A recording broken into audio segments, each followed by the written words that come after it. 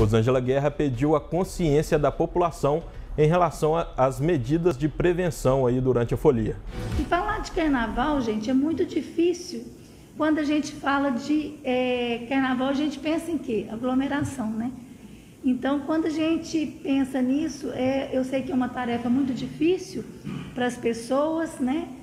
É, estar é, é impossibilitados de estar aglomerados, mas a gente recomenda que seja um carnaval diferente, né, gente? De estar somente com a família, né, com as pessoas que a gente convive no dia a dia. É, se tiver pessoas né, que queiram né, é, estar presentes, que esteja com distanciamento maior, né, que esteja com, com máscara, né? Vamos fazer da máscara uma peça fundamental, já é, né, gente? A gente vai, tem que usar a máscara como um acessório, mas uma peça fundamental e comum, né? E principalmente no carnaval. Bem, em relação aos cuidados, Rosângela alertou da presença da subvariante da Omicron, a BA.2, que possui uma capacidade de transmissibilidade muito alta. Sabemos que tem aí a Omicron, né? Agora tem uma nova variante que é a BA2, né? A gente sabe que já tem casos no Brasil. Então a nossa preocupação é no sentido de pós-carnaval, né?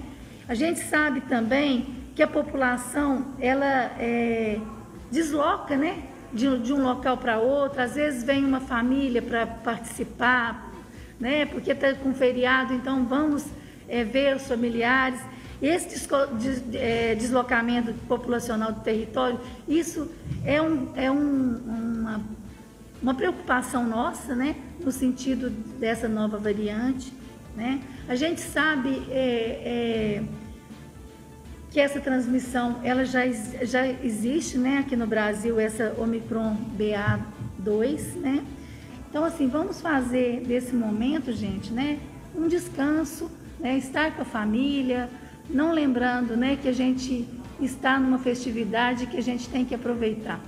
Eu acho que é um momento, assim, que a gente ainda não tem como falar assim, estamos sem é, Covid, né, estamos sem... É, ainda numa pandemia, né? Bem, a secretária falou também do alto número de mortes que tivemos aqui em Piuí neste mês de fevereiro e reforçou o pedido para a vacinação. Esses últimos dias aí a gente sabe que teve muito óbito, né? Vários óbitos agora em fevereiro, pessoas que, né, têm uma, mais comorbidades, né? Isso é muito ruim, a gente fica muito triste com isso. E às vezes por falta de vacinas, né? Então vamos pensar o seguinte, gente, é, vamos terminar esse esquema vacinal. Tem muitas pessoas que estão com segunda dose, às vezes sem fazer o reforço, né? Tem pessoas que estão para fazer a quarta dose, que são pessoas imunossuprimidas, que não fizeram ainda. Então, assim, eu acho que é um momento de repensar. Bem, em relação à vacinação, mesmo com o ponto facultativo na segunda e na terça-feira, a unidade de, de, saúde José Martins, que é aqui o posto central, né, posto de saúde central, próximo à delegacia de polícia civil, ele ficará aberto para atender toda a população em regime de plantão.